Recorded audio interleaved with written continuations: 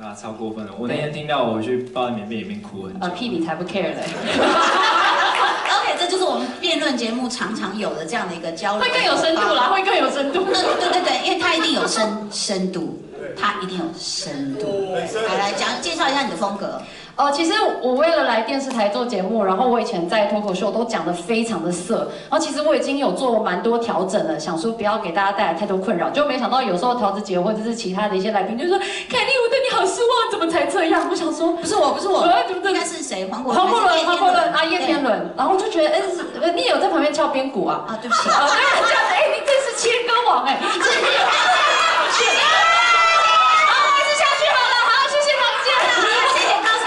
Amen.